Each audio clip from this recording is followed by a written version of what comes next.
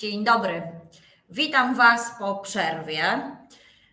Troszeczkę mm, nie robiliśmy ostatnio webinarów z uwagi na to, że na rynku nieruchomości bardzo dużo się dzieje i mamy kupę pracy zarówno w kancelarii, jak i w naszym biurze nieruchomości, ale e, wracamy. Znowu oczywiście do regularnych webinarów. E, będą one przynajmniej raz w miesiącu, także możecie się spodziewać oczywiście ekstra dawki wiedzy. A y, skąd pomysł na dzisiejszy webinar?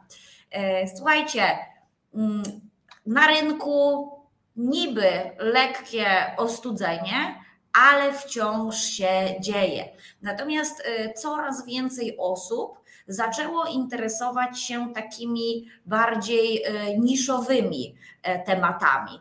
E, I do mojej kancelarii, jak i do biura nieruchomości spływa bardzo wiele zapytań na temat e, tego, jak inwestować w udziały, e, z czym to się wiąże. Interesujecie się też obrotem trudnymi nieruchomościami, zadłużonymi, gdzie na przykład są lokatorzy. No i oczywiście na te wszystkie pytania Wam chętnie odpowiadamy. Słuchajcie, dajcie mi znać, kto jest dzisiaj ze mną E, widzę, że, że już sporo osób się połączyło. Napiszcie skąd jesteście, czy inwestujecie już w udziały, czy flipujecie. E, generalnie czym się zajmujecie? Ja dzisiaj jestem tutaj dla Was i będę się chciała z Wami podzielić e, moim doświadczeniem. Także też oczywiście Bądźcie jak najbardziej aktywni, e, zadawajcie dużo pytań. E, ja mam nadzieję, że na wszystkie uda mi się odpowiedzieć. E, no dobra, widzę, o, witaj Alicja, hej, Słuchajcie, e, pisz, dajcie znać, czy wszystko jest też ok, czy dobrze mnie słychać, widać. E, także e, tutaj dzisiaj robimy akurat pierwszy webinar z naszej nowej siedziby kancelarii. Także słuchajcie, bądźmy w kontakcie, bo żeby tutaj było wszystko ok. Dobra. No to co? To jak to się mówi do brzegu? Widzę, że jest z nami wiele osób. O, widzę, że też są bardzo mocno zaawansowani gracze. Cześć Łukasz, e, jest z nami Łukasz Łuczyński, który również jest prelegentem na Akademii Prawa Nieruchomości i również prowadzi wykłady właśnie z obrotu tymi trudnymi nieruchomościami. Także dawajcie znać, o widzę jest e, kilku pośredników, także, także naprawdę super. E, cześć Radek.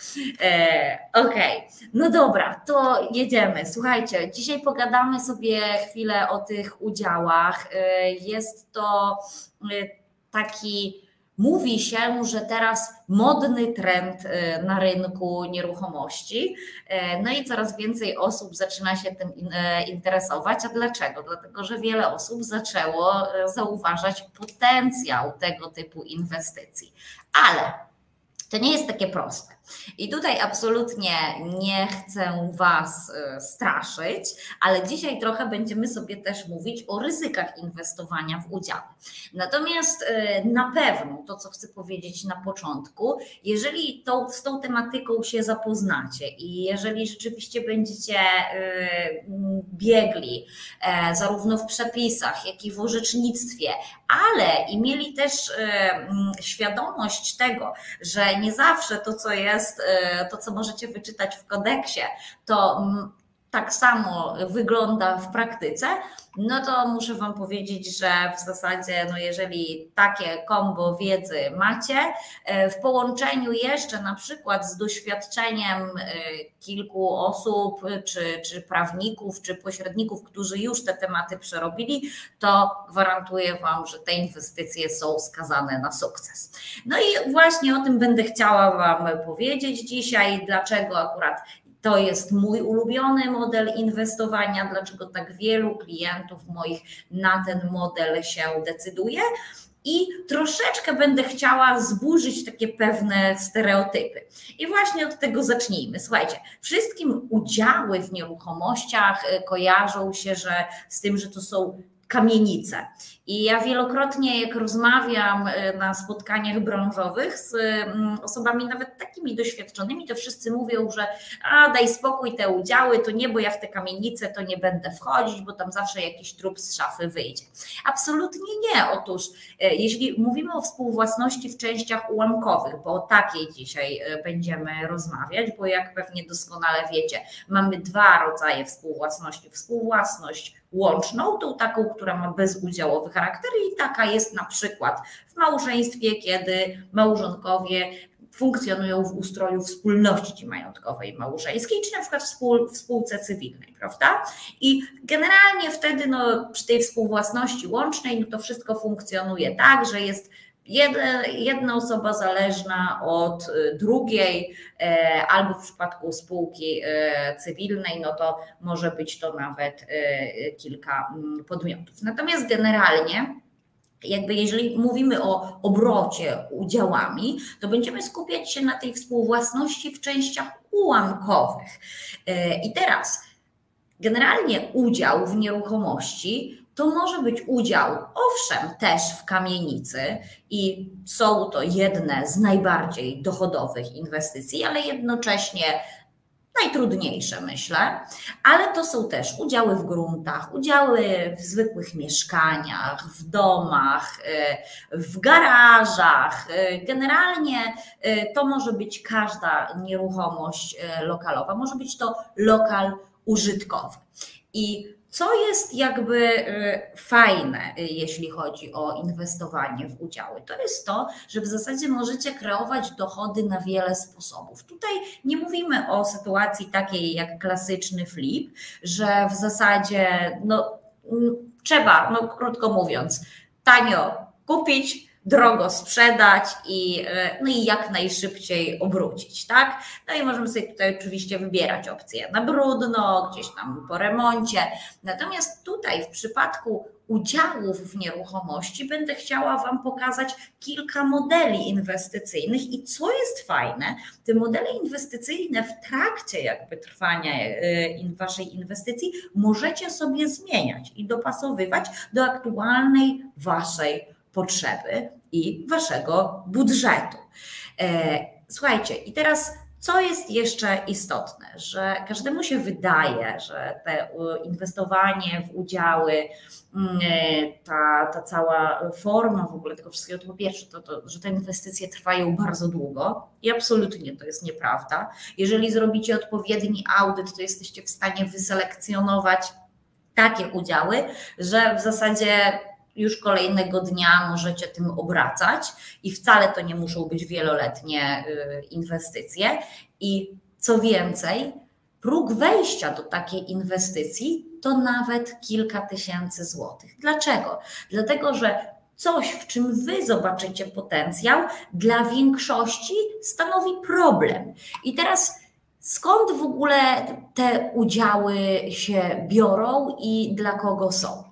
E, generalnie też panuje takie przekonanie, że e, obrót udziałami, e, w ogóle ta cała zabawa przy tej współwłasności to jest tylko dla zaawansowanych graczy. Absolutnie nie. Oczywiście, tak jak powiedziałam na początku, to wymaga wiedzy i no na pewno dużo większej i bardziej eksperckiej i specjalistycznej niż przy tradycyjnym obrocie, przy tradycyjnych flipach, no bo tam mamy kontrolę notariusza, więc w razie czego, no jeżeli coś tam nie sprawdzimy, to notariusz, krótko mówiąc, nam aktu nie puści. No oczywiście, jeżeli robimy przedwstępne, rezerwacyjne w formie cywilnoprawnej, no to tutaj no, musimy też działać z, z odpowiednim rozeznaniem. No niemniej jednak wiadomo, no, te inwestycje są y, prostsze, aczkolwiek też jak wiecie, może, może się y, gdzieś tam nawet przy prostej inwestycji coś pokomplikować, skomplikować, bo na przykład nie będzie problem z objęciem w posiadanie nieruchomości, czy z wyegzekwowaniem zapłaty ceny. Takie sytuacje się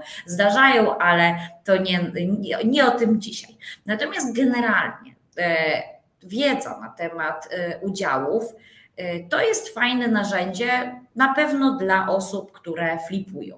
Może, może, możecie bowiem kupować mieszkania domy, grunty poprzez skup udziałów. I ideą naszą jest to, tak, kiedy flipujemy, żeby kupić jak najtaniej. No i teraz jakby jedną z opcji, żeby mieszkanie kupić tanio, no to jest dotarcie być może do osób, które coś odziedziczyły, czy nie wiem, ktoś im darował udział i na przykład skupować po kolei udziały i dojść do pełnej własności, albo na przykład kupić większość, szybciutko znieść współwłasność i generalnie mamy dosyć tanio zakupiony produkt, którym możemy obrócić i stopa zwrotu na pewno będzie dużo wyższa niż kiedy gdzieś tam no, na rynku będziemy szukać tradycyjnej oferty z uregulowanym stanem prawnym, e, gdzie no, tak naprawdę popyt na tego typu nieruchomości jest bardzo duży. Także jak najbardziej tutaj osoby, które flipują, które chcą troszeczkę wejść w taki bardziej zaawansowany model flipów, to jak najbardziej e, ten flip na udziałach e, jest możliwy i korzystny. Ja osobiście też e, to robię, zarówno sama, jak i z moimi klientami. To jest też wiedza, która na pewno jest istotna dla pośredników i sorcerów. Coraz więcej osób, osób chce sprzedać, kupić udziały, wiele osób zgłasza się na przykład do biur nieruchomości i sami nie wiedzą, co oni mają zrobić z takim udziałem, czy oni mogą sprzedać, na przykład y, dokonali zakupu czegoś z byłym małżonkiem. No i teraz pytanie jest, y, czy jeżeli załóżmy, no ten wspomniany drugi były, e, druga osoba, która ma już udział, na przykład były małżonek, nie zgadza się na sprzedaż e, nieruchomości, no to co można z tym zrobić? I tutaj taki pośrednik, który posiada wiedzę, jak dokonać takiej transakcji, jest na wagę złota. Z pewnością może też e, oczekiwać od klienta dużo wyższego wynagrodzenia, ale też może świadczyć no niejako taką dodatkową usługę doradczą, jak to zrobić. A jednocześnie w przypadku, kiedy zgłoszą się klienci kupujący, no to też będzie w stanie przewidzieć ewentualne zagrożenia związane z zakupem takiego udziału. E, ponieważ e, coraz więcej osób chce e, inwestować w nieruchomości, to rzeczywiście dostęp do tych ofert takich tradycyjnych w dobrych cenach no, jest nieco ograniczony. I mówimy tutaj o spowolnieniu rynku, że tu zaraz nie wiadomo, co się zadzieje. Owszem, na pewno dojdzie do pewnej korekty i, i rzeczywiście może ten rynek już teraz obserwujemy, że ciut przyhamował, no niemniej jednak te nieruchomości zawsze będą kupowane.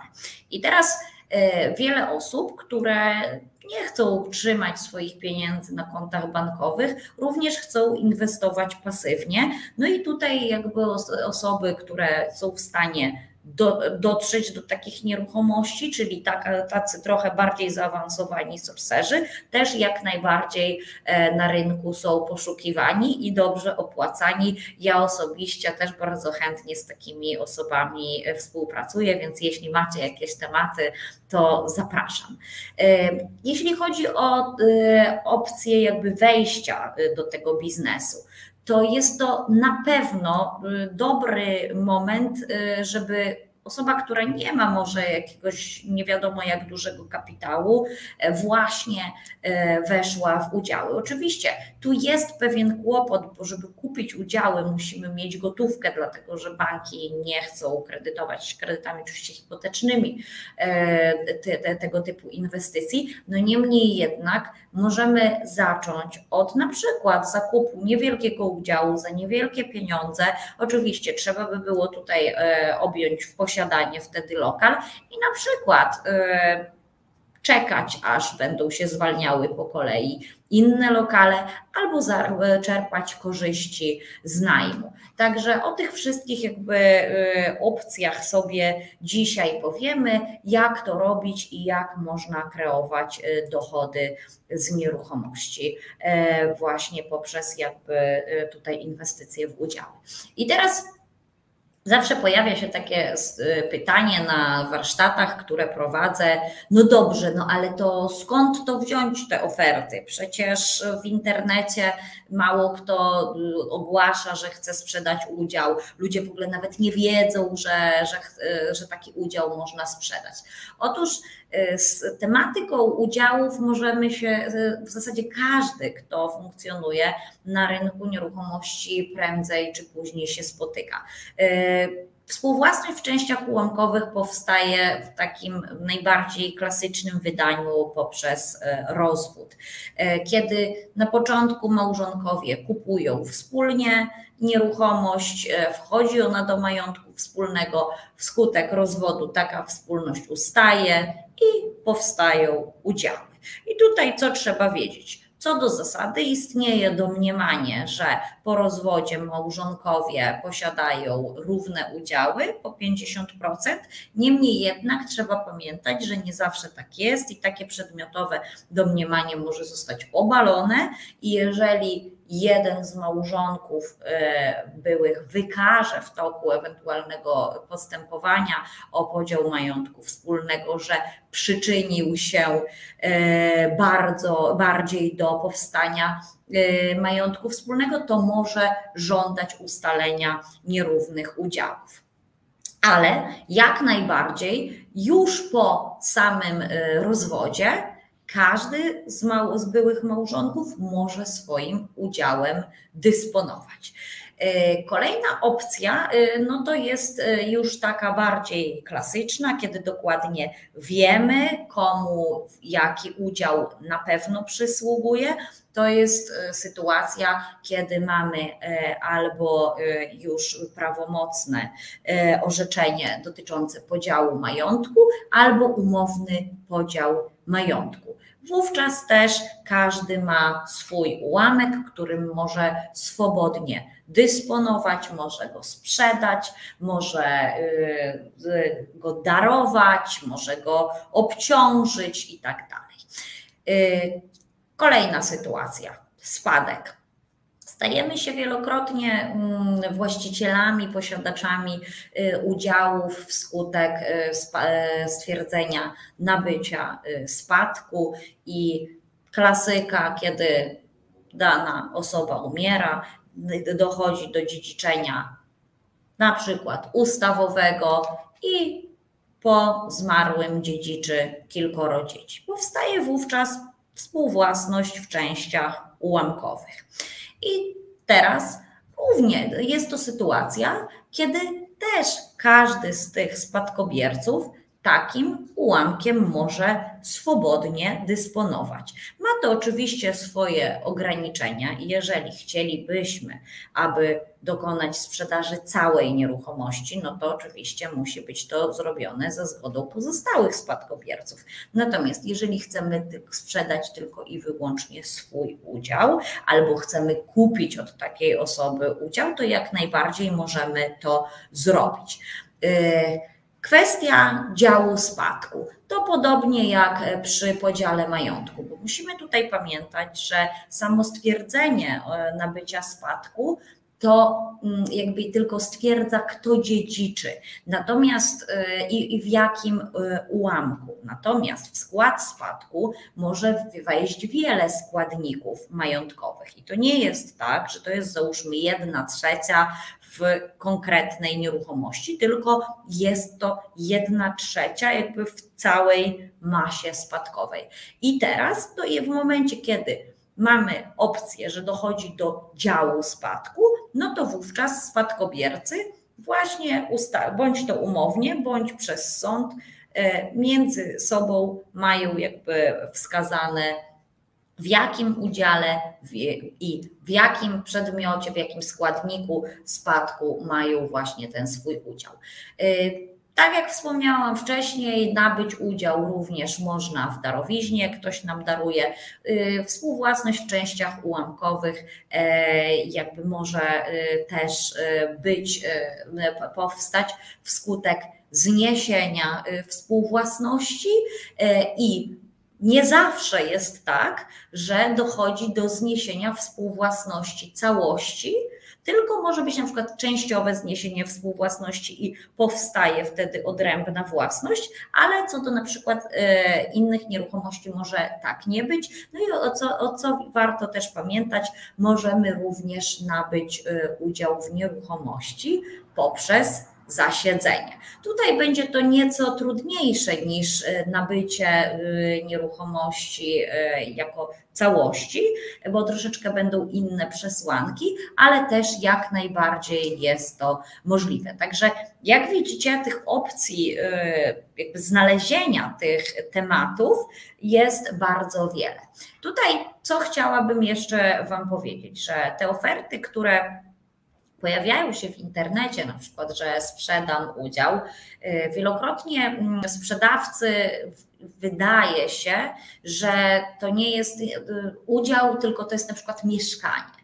Y, takim błędem, który popełniają, jest to, że na przykład w akcie notarialnym mają zapis, że w ramach udziałów mają prawo do korzystania z mieszkania, no i im się wydaje, że to jest mieszkanie. To jest błędne przekonanie, to jest wciąż udział w nieruchomości, tylko jak to się powszechnie mówi, z tak zwanym wskazaniem na lokal.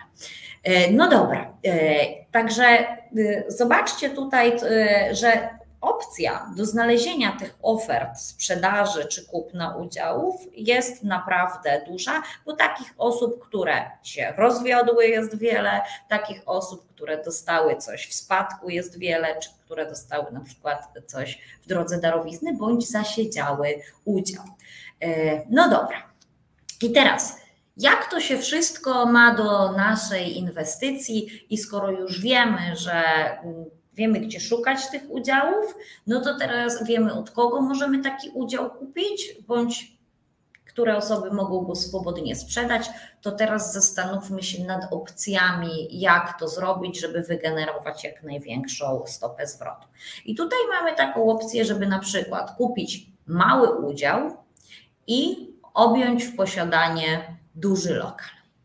I ktoś powie, no ale no to jak to? Jak ja mam 10%, a i załóżmy w ramach tych 10% przysługuje mi prawo co do zasady do korzystania załóżmy z 20 metrów, no to, to co to? Czy ja mogę legalnie y, objąć w posiadanie na przykład lokal 100-metrowy y, czy większy, czy nawet kilka lokali?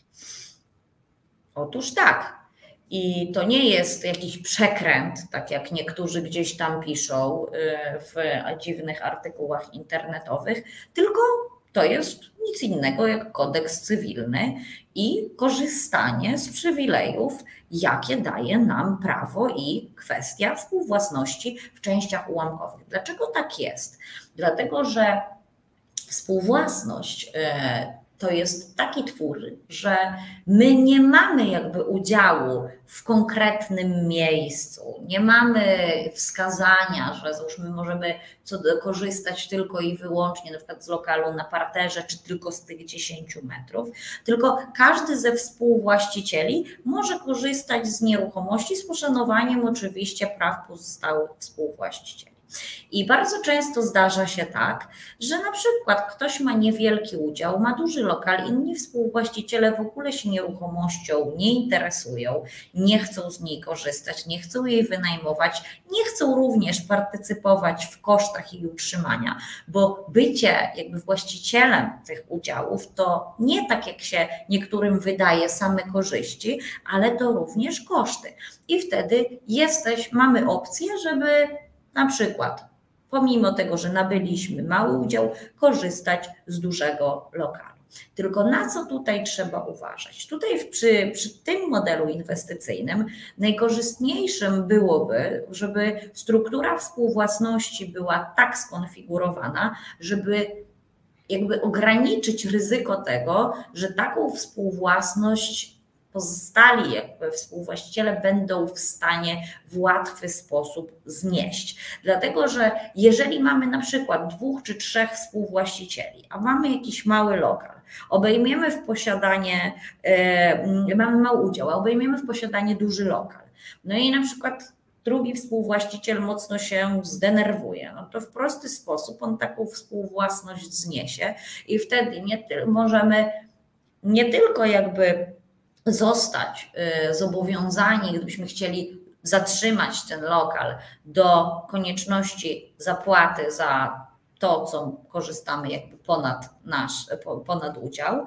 tylko oprócz tego jeszcze możemy zostać zobowiązani do rozliczeń z tytułu pożytków lub korzyści. Pożytków wtedy, kiedy wynajmowaliśmy na przykład ten lokal i pobieraliśmy czynsz, a korzyści w przypadku na przykład prowadzicie tam działalność gospodarczą. Ale w sytuacji, kiedy struktura współwłasności wygląda tak, że tych współwłaścicieli jest e, kilkunastu, czasem jest kilkudziesięciu, no to opcja, że taką współwłasność uda się znieść, jest bardzo niewielka. No i wtedy rzeczywiście tutaj mamy potencjał do tego, żeby generować przychody z naszego objętego w posiadanie lokalu. Y, dużo niższe ryzyko y, to sytuacje, kiedy mm, kupujemy udział z tak zwanym pokryciem w metrażu. Y, tutaj też to są korzystne inwestycje, z tego względu, że udziały, chociażby z tego względu, że trzeba je kupić za gotówkę, są tańsze. Mało tego, wiele osób boi się jakby te, tego typu inwestycji z tego względu, że e, oni e, no, po prostu nie rozumieją jakby tej struktury współwłasności. Wiedzą, że mogą być jakieś problemy z zarządzaniem nieruchomością, nie, nie potrafią zrobić audytu, także w zasadzie 90% rynku takich typowych konsumentów te jakby inwestycje odrzuca. W związku z tym zawodowy gracz, który chce z tego skorzystać, jak najbardziej ma opcję, żeby tutaj w sposób e, korzystny zainwestować, ale oczywiście posiadając odpowiednią wiedzę. E, doskonały model inwestowania to taki, kiedy skupujemy udziały od współwłaścicieli i dochodzimy do 100% własności. Oczywiście tutaj to też wymaga na dzień dobry zrobienia odpowiedniego audytu, jak szybko uda nam się to zrobić, e, czy, którzy właściciele chcą z nami rozmawiać, czy są znani z miejsca pobytu. Ten model na pewno będzie problematyczny, kiedy mamy kilkunastu, kilkudziesięciu współwłaścicieli roz, e, rozrzuconych po całym świecie, albo nie wiemy, kim oni są. Tak, taki, wiecie, współwłaściciel widmo naprawdę może być kłopotliwy, dlatego że w przypadku, gdybyśmy chcieli znieść tą współwłasność, no to oczywiście on będzie obligatoryjnie uczestnikiem w sprawie, musimy go zawiadomić i tak dalej. Jeżeli tego nie zrobimy, to nie jest tak, jak się wielu wydaje, że tu sąd będzie coś poszukiwał, kogoś takiego z urzędu, no tylko musimy, e, jeżeli już nie możemy go znaleźć, no to wtedy ustanowić ewentualnie kuratora mm, do doręczeń. Także to jest temat y, długofalowy. Natomiast jeżeli zrobicie dosyć szybki audyt i okaże się, że Ci współwłaściciele są na miejscu, wszyscy żyją, nie ma ich tak dużo, nie ma ich, nie, ma, nie są to na przykład osoby małoletnie, gdzie trzeba będzie występować o zgodę sądu na sprzedaż.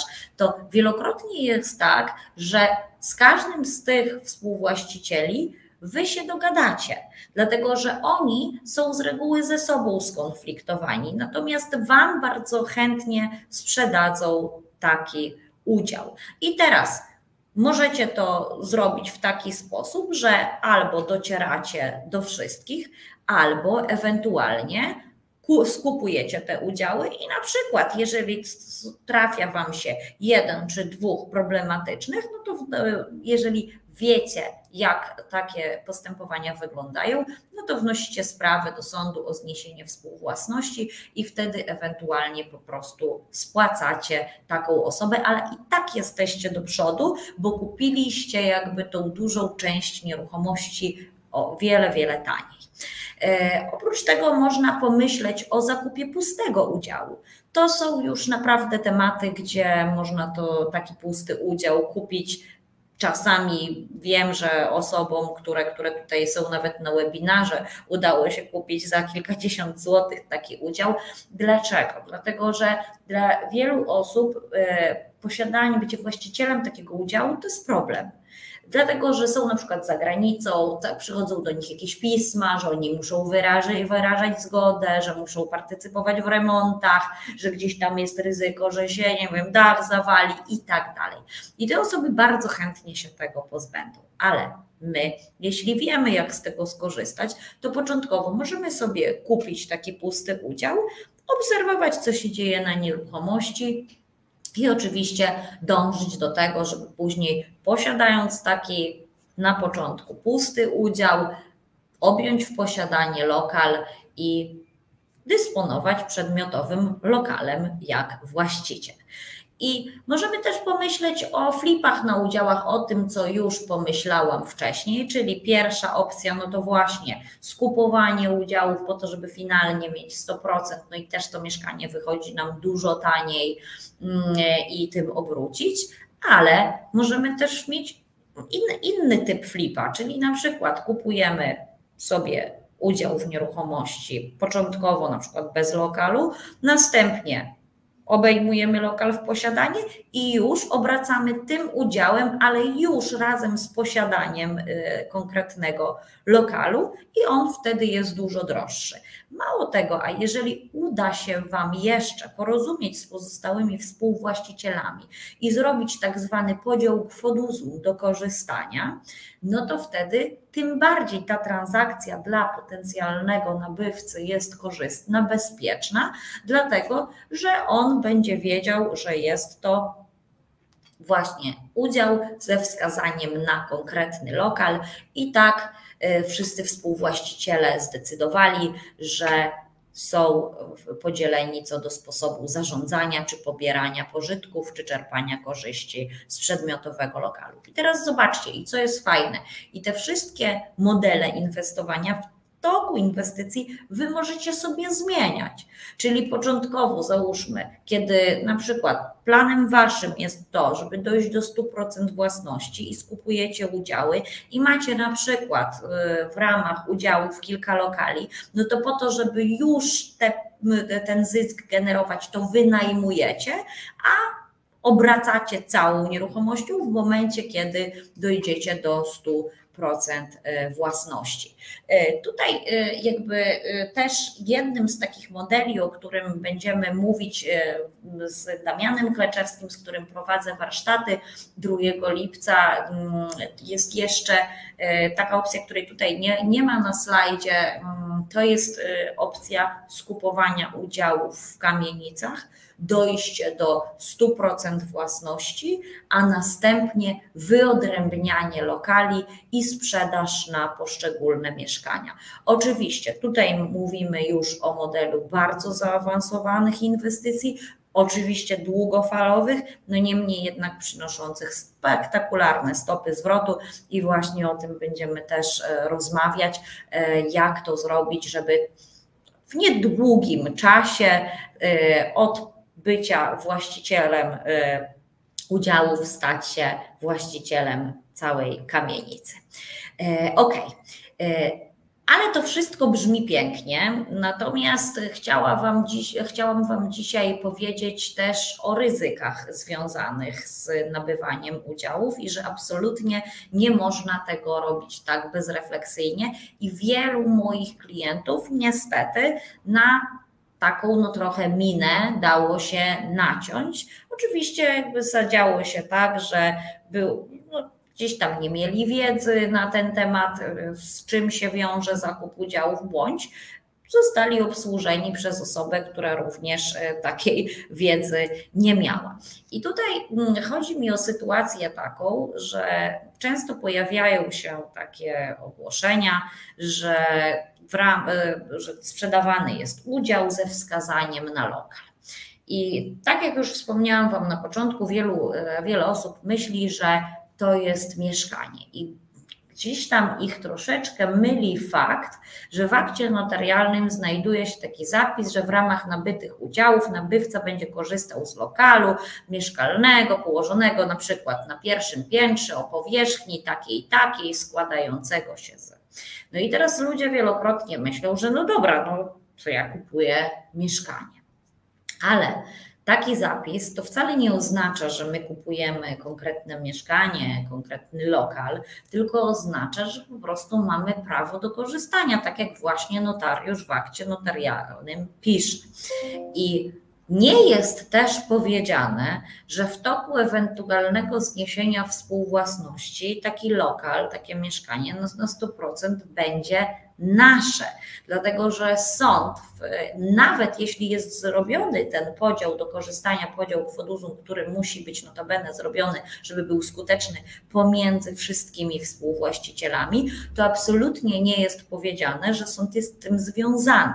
I teraz, jeżeli kupimy mały lokal, ma, mały udział, jakby w posiadanie duży lokal, to możemy mieć problem taki, że jeżeli pozostali współwłaściciele yy, wniosą sprawę o zniesienie współwłasności, to jeżeli byśmy chcieli ten lokal, to mieszkanie zatrzymać, to będziemy musieli zapłacić za te metry, które będą jakby odpowiednie do y, jakby przysługującego nam y, udziału, który będziemy chcieli mieć i oprócz tego możemy jeszcze zostać zobowiązani do rozliczenia z tytułu pożytków lub korzyści. I teraz, jak to będzie liczył ewentualnie biegły sądowy?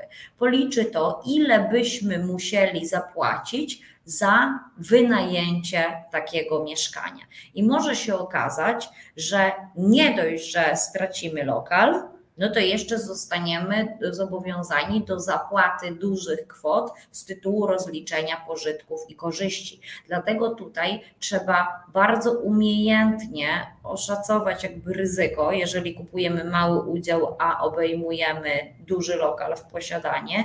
No i przede wszystkim jakby wyliczyć, jaka jest wartość naszego udziału, a jaka jest wartość lokalu. Dlatego, że sądy przy zniesieniu współwłasności posługują się metodą wartościową, czyli to nie odnosimy się tak jak było jeszcze wiele lat temu w orzecznictwie, że tylko do samego metrażu, ale do wartości lokalu. No dlaczego? No jest to dosyć logiczne, bo lokal na parterze, załóżmy, jeżeli jest to lokal użytkowy, będzie dużo wyższą wartość przedstawiał niż lokal na trzecim piętrze, czy gdzieś tam jakiś e, gorszy, prawda? Także tutaj na to też zwróćcie uwagę. I tutaj, co bym chciała jeszcze zauważyć? Widzę, że jest sporo pośredników z nami, dlatego chciałam powiedzieć, że e, trzeba jeżeli się decydujemy na pośredniczenie w tego typu tematach, to trzeba naprawdę dość sprawnie posługiwać się tymi przepisami dotyczącymi współwłasności. Kilku pośredników, niestety, poprzez brak doświadczenia w takich transakcjach, zrobiło sobie krzywdę, dlatego że właśnie nie wiedzieli, jakie są konsekwencje w przypadku ewentualnego zniesienia współwłasności, pośredniczyli w sprzedaży takiego lokalu z tak zwanym wskazaniem na konkretne mieszkanie czy, czy, czy lokal. No i później okazało się, że no jeżeli pozostali współwłaściciele wnieśli do sądu sprawę o zniesienie współwłasności, no to ich klient został zobowiązany do y, bardzo wysokich spłat. Także tutaj y, uważajmy na to i absolutnie nie możemy w ogłoszeniach redagować jakby wpisów w taki sposób, że to jest sprzedaż mieszkania, bo to jest wciąż tylko udział w nieruchomości i tylko poprzez zniesienie współwłasności możemy się stać jego wyłącznym właścicielem. OK. Teraz, co chciałam Wam jeszcze powiedzieć? E, ponieważ to wszystko ja wiem, że jest takie zagmatwane, trudne, wielu prawników nawet się nie chce mm, podej tego podejmować, bo tutaj rzeczywiście scenariuszy może być wiele. I jeżeli chcielibyście wejść w tego typu inwestycje, to ja Was zapraszam do wspólnego inwestowania ze mną. Możemy zrobić to wspólnie, zobaczycie, jak to, jak to się mówi, chodzi.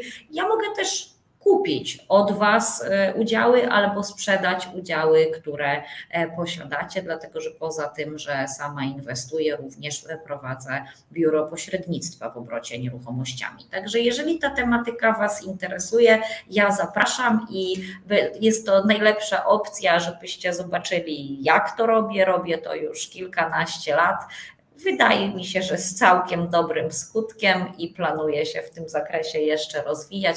Także, e, także jeżeli byście mieli ochotę, to oczywiście e, zapraszam. E, I teraz słuchajcie, jeżeli też chcielibyście troszeczkę więcej na ten temat posłuchać, E, to już 2 lipca robimy warsztaty z zakresu inwestowania w udziały i tam będziemy się uczyć, jak zarabiać na tym no, najbardziej niszowym rynku, gdzie konkurencji jeszcze nie ma wiele, a naprawdę e, jeszcze, jeszcze sporo, sporo jest do zrobienia. I tutaj, co jest też fajne, że przy tym inwestowaniu w udziały, cały czas się rozwijacie, możecie stosować wiele modeli inwestycyjnych, ale wielokrotnie też wyciągacie ludzi z problemów, bo oni nie wiedzą, co z tym zrobić, oni tak naprawdę ta współwłasność dla nich jest problematyczna, a wtedy wy możecie im po prostu zarówno pomóc jakby w, w tej transakcji, a jednocześnie później mając odpowiednią wiedzę z tego e, skorzystać. Oczywiście na takich warsztatach dzielimy się tylko praktyką, to są warsztaty dla osób, osób, które no już na rynku coś robiły, y, także, także to są warsztaty zaawansowane. Mm, po warsztatach oczywiście mamy zamkniętą grupę wsparcia, gdzie wymieniamy się doświadczeniami, case'ami, macie też dostęp do e, bazy wiedzy, no i wspólnie inwestujemy. Natomiast też każdy z naszych absolwentów, tutaj y, kilka osób widzę, y, słucha webinaru, bardzo mi miło, że, że, że jesteście. Też y, mamy coś takiego jak mentoring przy transakcjach i też jeżeli macie jakiś temat, a jednak jest on dla Was problematyczny, nie wiecie jak się do tego zabrać, czy się boicie, no to wtedy my chętnie też w to wchodzimy albo jak jesteście w naszej grupie absolwentów, to wspólnie dopinacie tematy. E, oczywiście też e, wszyscy nasi absolwenci mają e, zniżki na wszystkie nasze szkolenia Akademii Prawa Nieruchomości i tutaj od września oczywiście rusza kolejna edycja, poprzedzona będzie też y, dużym eventem, dużą konferencją, y, także, także też będzie to cykl wielu zjazdów, mniej więcej, chyba to będzie 8 zjazdów, teraz tak jak, jak widzimy program i to jest takie trochę nieruchomościowe MBA. Także jeżeli macie ochotę, to zapraszam. Dzisiaj macie opcję mm, do zakupienia jeszcze warsztatów na sobotę, na 2 lipca w promocyjnej cenie, 3,5 tysiąca złotych. Y, musicie tylko wpisać kod rabatowy udziały. Y, tutaj widzę już e, mój zespół dał Wam linka e, w komentarzach, jak się zapisać. Także serdecznie zapraszam, dołączajcie do naszej społeczności, a ja gwarantuję, że już po tych warsztatach wyjdziecie z taką dawką wiedzy, praktycznej wiedzy, że kolejnego dnia będziecie mogli samodzielnie iść na rynek i realizować tego typu transakcje. Słuchajcie, jeżeli macie jeszcze jakieś pytania, to bardzo proszę. Y, tutaj, czy y, Aleksandra pytasz, czy live będzie zapisany? Chyba tak, także powinien być dostępny na naszym YouTubie, y, także, także będzie można sobie jeszcze to odświeżyć. Ja sobie zerknę tylko jeszcze na pytania, poczekajcie. Mm. O, widzę, że bardzo dużo osób zaawansowanych na rynku, fliperzy, pośrednicy z różnych części Polski. Super. Ola, bardzo doświadczony pośrednik, super. Fajnie. Oj, widzę sporo moich absolwentów. E, mm, słuchajcie, mm, momencik jeszcze. Bo tutaj mamy, e, mamy tak, będę Wam wyświetlać. Musisz zrobić analizę, to ile możesz kupić, nie przesądza o powodzeniu Twojego y, zamiaru. Możesz kupić 1% i być w lepszej pozycji niż 50%, 51% e, współwłaściciel. Tak, oczywiście, co prawda mamy tutaj tylko inicjały MR, ale tak jak najbardziej tutaj masz rację to jest sytuacja taka, że czasami możemy kupić e, właśnie 1%, 10%, a e, objąć w posiadanie bardzo duży lokal i tak naprawdę żaden ze współwłaścicieli nie będzie miał prawa do tego lokalu wejść z tego względu, że naruszy wasze posiadanie. I co więcej, nie ma czegoś takiego jak możliwość eksmisji współwłaściciela. Dlatego tutaj no, ta pozycja jednak tego jednoprocentowego y, współwłaściciela może być rzeczywiście bardzo mocna i tutaj czynności natury faktycznej wielokrotnie są istotniejsze y, niż y, nawet no, te prawne, bo prawnie możemy być w księdze wieczystej, możemy mieć już dla uproszczenia 90% udziałów. Tak, pamiętajcie też, że my się posługujemy procentami, natomiast w rzeczywistości to są ułamki.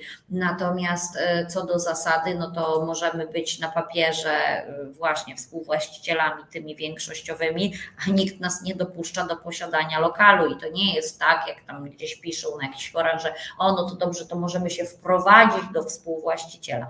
Absolutnie nie, naruszymy wtedy posiadanie, możemy naruszyć mir domowy i wtedy będziemy mieli odpowiedzialność nie tylko cywilną, ale również możemy mieć odpowiedzialność karną. Dlatego takich działań absolutnie nie mm, rekomenduję. Mm, tutaj bardzo ciekawe pytanie Mateusza, co z kupnem udziałów, gdzie jest e, hipoteka. Tutaj trzeba e, rzeczywiście uważać i e, tutaj jakby najlepszą odpowiedzią jest to, żeby stwierdzić, to zależy, ale co do zasady, jeżeli kupujemy, jeżeli nieruchomość obciążona jest hipoteką i ta hipoteka powstała w momencie, kiedy jakby była jeszcze y, współwłasność, to na przykład to jest bardzo częsty błąd, kiedy ludzie kupują udział w y, nieruchomości od y, komornika bądź od syndyka i panuje takie powszechne przekonanie, że wtedy kupuje się nieruchomość wolną od wszelkich długów. Oczywiście to doskonale wiecie, że, że tak nie jest. Co do zasady kupuje się wolną od długów finansowych, natomiast no nie tych jakby faktycznych, lokatorskich. Natomiast w przypadku, kiedy mówimy o sprzedaży udziałów, gdzie jest hipoteka, to taka hipoteka na takim udziale może zostać. I tutaj e, trzeba do takiej transakcji zawsze podejść e, bardzo indywidualnie, ale jednak w większości przypadków ta hipoteka e, zostanie. O, ujawnił nam się Mirek, chyba wiem nawet, który to jest Mirek. Cześć Mirek. E, także też, też wiem, że trochę Mirek tutaj już narządził na tym rynku udziałów. Okej. Okay. E, jak tu się e, zadaje pytanie? Aha, jak, jak się wchodzi w posiadanie? Dobra, już mówię. Jak się wchodzi w posiadanie? Wejście w posiadanie to jest nic innego jak po prostu wejście w tak zwany stan faktyczny. No i tak jak się to mówi w orzecznictwie, trzeba zamanifestować, że czujemy się w danej nieruchomości jak e, właściciel, czyli krótko mówiąc, mamy tam swoje rzeczy, zmieniamy zamki. No i co do zasady, objęcie w posiadanie następuje poprzez jakby przekazanie jakby tego posiadania przez pośrednika. E, tutaj też możemy wejść w posiadanie poprzez wejście do lokali, które, których nikt nie objął e, jeszcze w posiadanie i wielokrotnie to się tak zdarza. To są tak zwane pustostany, gdzie na przykład, nie wiem, mamy kamienicę i kilka lokali jest zajętych, ale część jest pustych, nikt nie jest nimi e, zainteresowany, także, e, także jak najbardziej wtedy możemy jako współwłaściciele z takich lokali korzystać. Mm, co my tu jeszcze mamy? Mm, Sylwia pyta, E, jak z praktyki zazwyczaj zawiadamia się spółkę o zakupie części udziałów? My tutaj nie mówimy o zakupie udziałów w spółkach, tylko generalnie udziałów e, w nieruchomości. Także e, tutaj chyba, chyba to nie, nie o to chodziło, albo proszę zredaguj jeszcze raz pytanie, jakby o co, o, co, o co dokładnie Ci chodzi. Dobra. Ela, kiedy przedawniają się nakłady? Z tymi nakładami to jest w ogóle temat rzeka, dlatego że macie bardzo różne orzecznictwo, także od razu uczulam, że, że możecie się spotkać właśnie z różnymi orzeczeniami. Natomiast co do zasady, nakłady, bo zawsze jest problem, jakby od kiedy zaczyna się ten, liczyć termin przedawnienia, no to co do zasady od momentu jakby do wykonania tych nakładów i też powstaje zawsze takie pytanie, czy jest ryzyko, że jeżeli ja kupię udział w nieruchomości, to pozostali współwłaściciele zwrócą się do mnie o rozliczenie nakładów, które poczynili. I tutaj orzecznictwo Sądu Najwyższego wprost mówi, aczkolwiek możecie znaleźć inne orzeczenie, że jakby roszczenie o zwrot nakładów przysługuje w stosunku do każdoczesnego właściciela, czyli jeżeli na przykład wykupicie i, y, a nakłady były poczynione w momencie, kiedy jeszcze nie byliście współwłaścicielami, to co do zasady jesteście bezpieczni i okres przedawnienia standardowy 6 lat. Okej. Okay. Aleksandra pyta, co z działkami. Słuchajcie, z działkami jest dokładnie tak samo. E, tutaj nie macie tylko tych tematów związanych z posiadaniem nieruchomości, ale tak samo kupujemy udziały w gruntach. E, wielokrotnie właśnie też e, skupujemy udziały od czy to spadkobierców, czy, czy współwłaścicieli, czy byłych małżonków. I jeżeli gdzieś tam trafia się jakiś taki delikwent, który nie do końca chce nam sprzedać, no to wtedy możemy wnieść sprawę o zniesienie y, współwłasności. Mm, y, mam jedną y, trzecią część wspólnych. Balkony są częścią wspólną. Czy mam prawo korzystać z balkonu współwłaściciela? No, z tym prawem do korzystania to zawsze jest kłopot, natomiast e, co do zasady, tak, mamy możliwość korzystania z części wspólnych. No niemniej jednak, jeżeli zdarzają się takie sytuacje, bardzo często na przykład jeśli chodzi o strychy, że jeden ze współwłaścicieli gdzieś tam obejmie wyłączne e, posiadanie, lokal, no to wtedy no, nie do końca możemy to posiadanie naruszyć. I oczywiście możemy tutaj wnosić o dopuszczenie do współposiadania, możemy to nawet próbować egzekwować na drodze sądowej. No niemniej jednak, jeżeli ktoś jest w wyłącznym posiadaniu, jest to współwłaściciel, to pomimo tego, że są to części wspólne, no to też tu trzeba uważać, żeby jednak e, nie przekroczyć tej granicy, która może wskazywać na naruszenie e, posiadania. Mm. Mm. Słuchajcie, zadajecie trochę pytań odnośnie spółek. Ja y, planuję zrobić też webinar na ten temat y, i w ogóle na ten, będziemy sobie rozmawiać y, na temat sprzedaży w ogóle udziałów w zorganizowanych części przedsiębiorstwa, bo to się mm, teraz bardzo często zdarza. Tutaj też wiem, że wielu pośredników mm, troszeczkę takimi transakcjami chce się zająć, tylko pamiętajcie, tutaj do pośredników od razu mówię, że to nie jest pośrednictwo w sprzedaży nieruchomości. To jest zupełnie inna usługa i to nie będziemy tego robić na klasycznej umowie pośrednictwa, ale słuchajcie, widzę, że nawet, nawet dzisiaj trochę tych tematów się pojawia, także, także obserwujcie nasz profil i na pewno się tym zagadnieniem zajmiemy, a może jakoś na dniach napiszemy też na ten temat artykuł na moim blogu elżbietaliberda.pl. Tam też to od razu powiem, macie sporą dawkę darmowej wiedzy, aktualnej przede wszystkim, dlatego że na bieżąco to z zespołem aktualizujemy, dbamy o to, bo, bo w internecie można trafić niestety na y, wiele, wiele jakichś nieaktualnych y, artykułów. Max. Moje działania sourcingu zyskują odnogę udziałów, na co zwracać uwagę podczas wyszukiwania dla inwestorów oraz na co uważać. E, e, słuchajcie, no to, to też bardzo dobre pytanie. E, tutaj, jeśli chodzi o audyt nieruchomości, audyt udziału, no to przede wszystkim trzeba zacząć od kompleksowego, dobrego zrobienia due diligence nieruchomości, zarówno prawnego, jak i stanu faktycznego.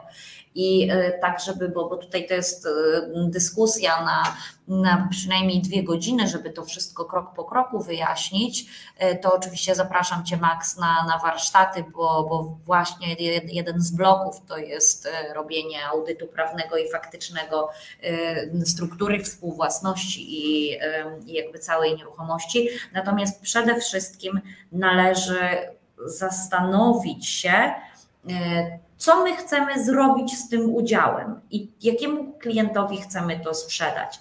I teraz tak, jeżeli widzisz, że jest to mały udział, a ktoś ma duży lokal, no to musisz jakby ocenić ryzyko tak, czy w razie czego jakby pozostali współwłaściciele będą w stanie znieść szybko współwłasność. Bo jeżeli tak, no to nie ma co się w coś takiego ładować, dlatego że dość szybko Twój kontrahent no, taki udział straci.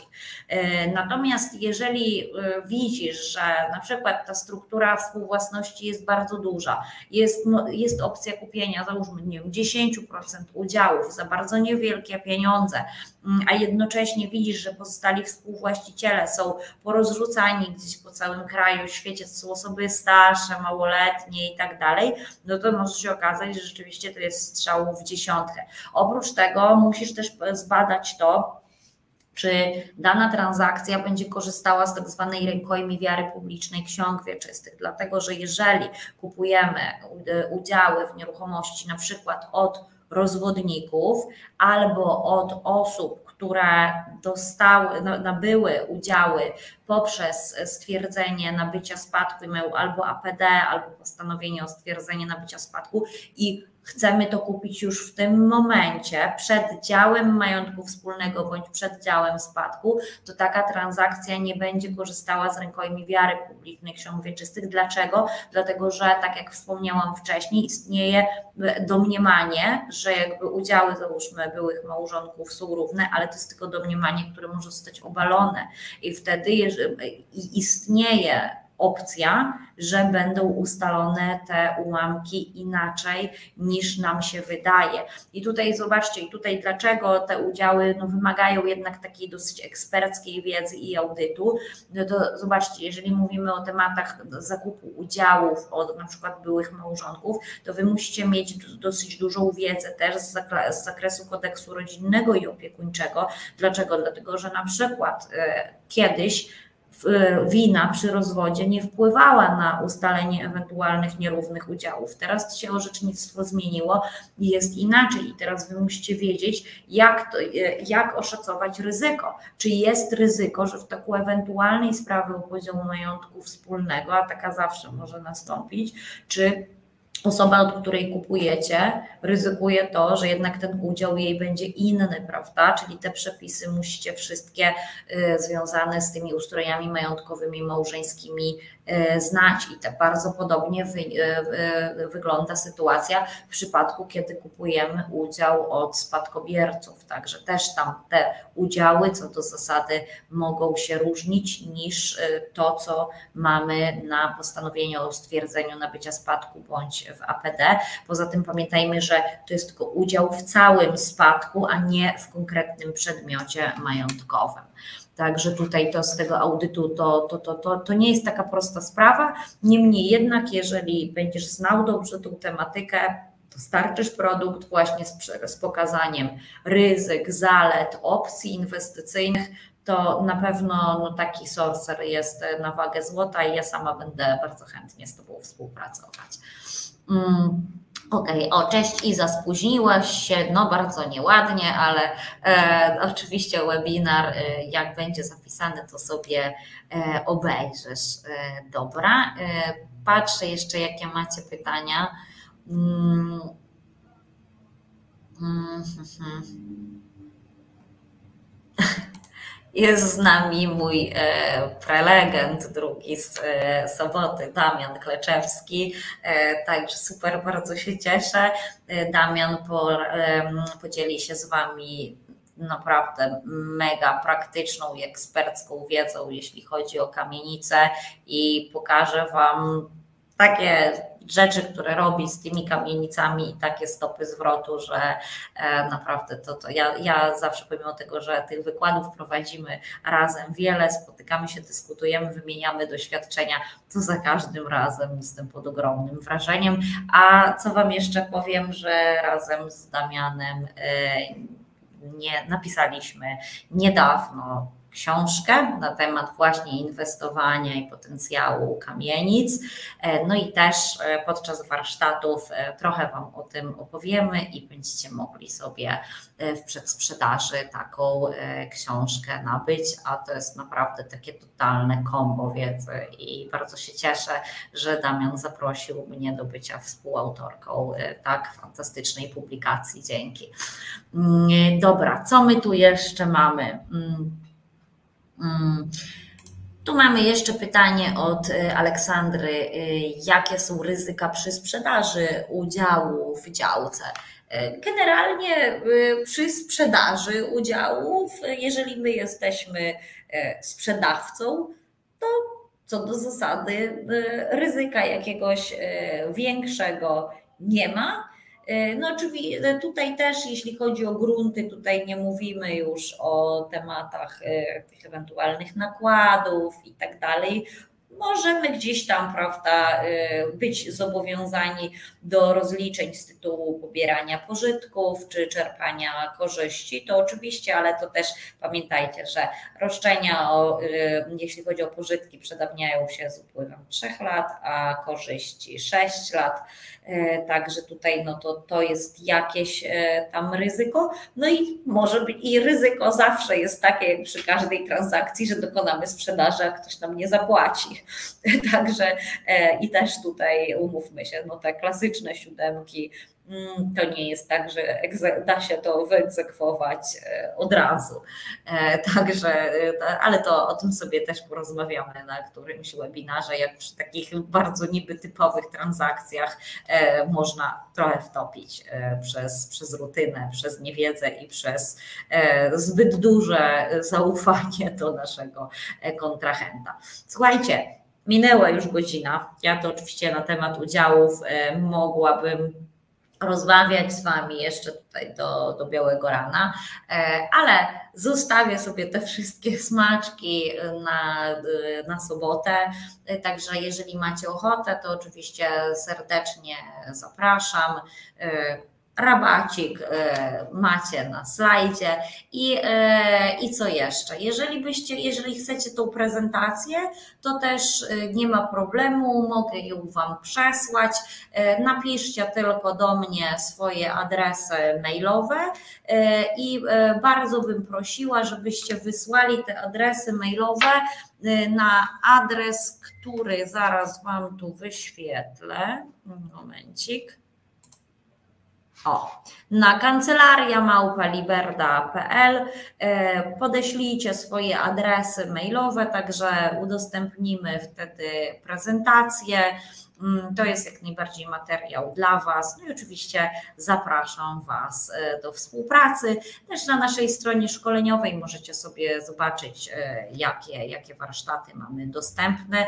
No a od września, tak jak mówiłam, ciśniemy z nową edycją Akademii. To, to myślę, że też e, produkt warty rozważenia. Dziękuję Wam za dzisiaj. Miło było z Wami znowu się spotkać. Wracamy do regularnych webinarów i do zobaczenia. Dzięki.